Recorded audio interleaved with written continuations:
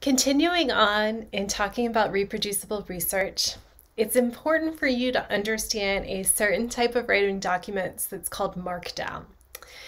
Um, for this, I want to start by talking about what are called markup languages. So, you're probably very familiar with writing documents in Google Docs or in Word. That's called a WYSIWYG system, a W Y S I W Y G. That stands for what you see is what you get. And so when you're doing formatting in that style, you really see immediately on the document exactly what it's going to look like. So let me give an example of that. Let's open up a Word document. So if I wanted to say, um, let's see, these words are in bold.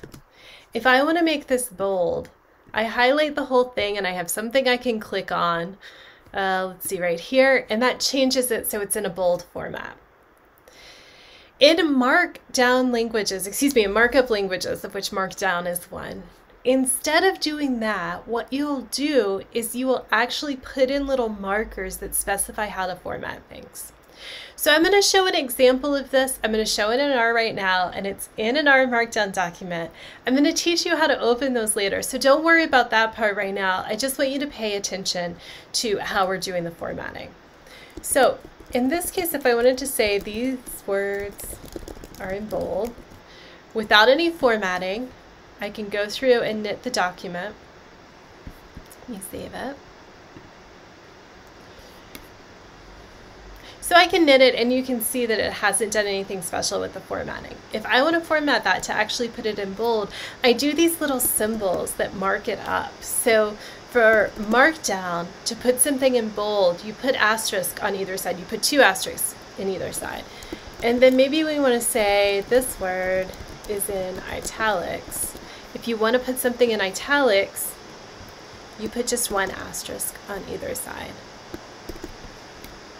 So now if we save and run this, you'll see that it's done that formatting. It's put the first part in bold and then it's put that second word in italics. And it's doing this not because we kind of like pointed and highlighted something. Um, it's doing it because we put those little markers in. So we're doing everything here in a plain text file where we can't kind of like put in that extra formatting by pressing on buttons. And so instead what we do is we put that right in the file itself and then when it's rendered into the output, the engine that's doing that rendering, which is Pandoc in this case, since we're going to HTML, that does that translation and puts it in the final format.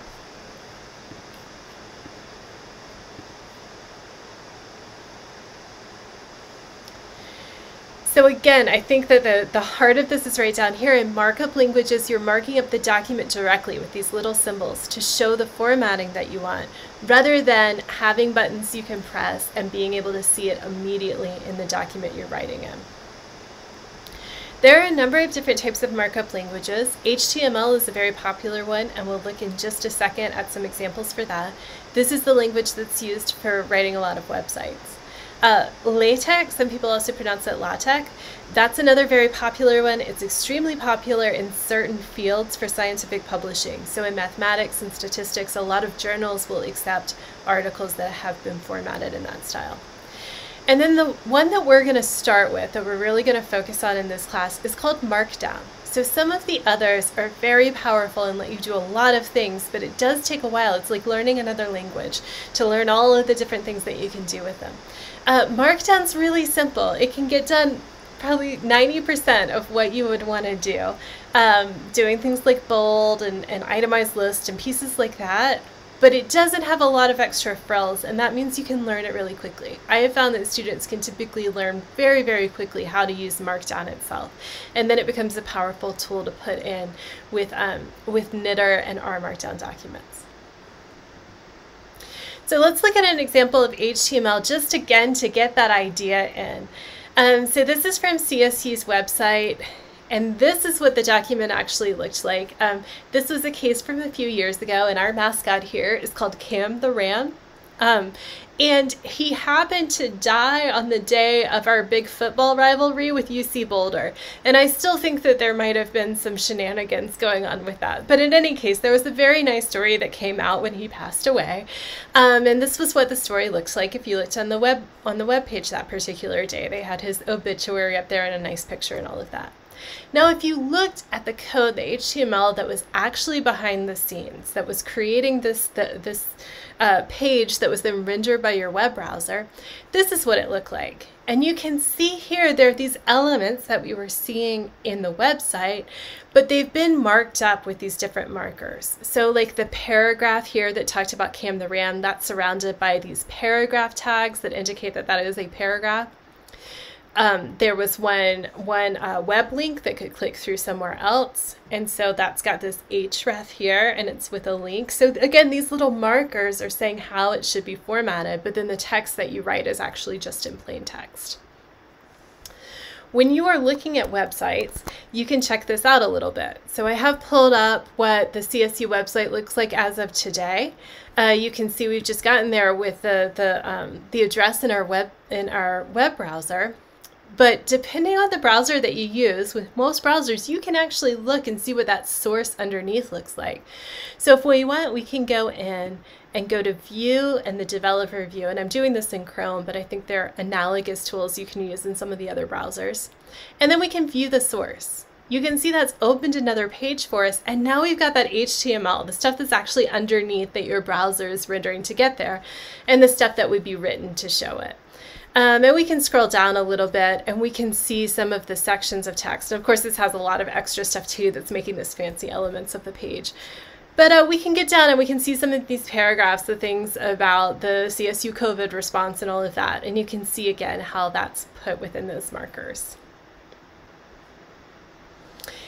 This does mean that to learn how to use Markdown, you're going to need to use some of, learn some of those conventions, learn some of those little tags you put around things.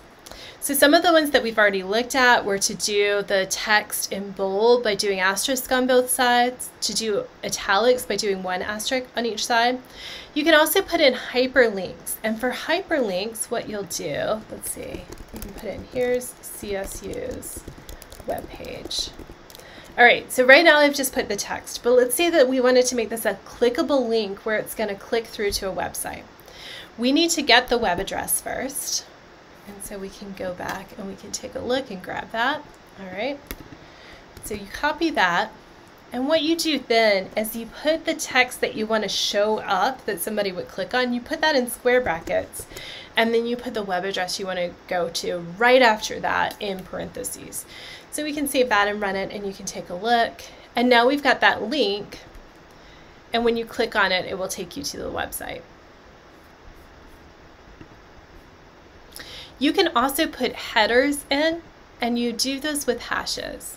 So we might want to call this, uh, let's see, section one. And then maybe down here we want to have a section two. And maybe we even want to have subsections in, inside. So maybe we want to have subsection one and then subsection two.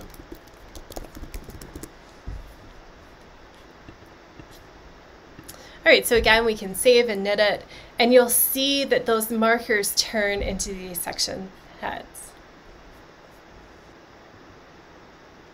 You can also create lists, either itemized list or bulleted list. For bulleted list, you will want to use a hyphen in front of each item in the list, and you need to set off that hyphen section so that you've got a blank line above and a blank line below.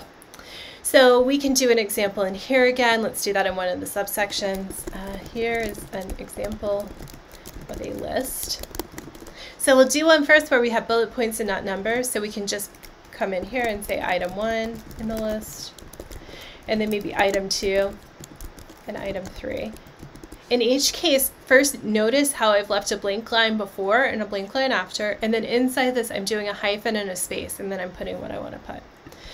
So if we knit that, you can see that that's created a bulleted list.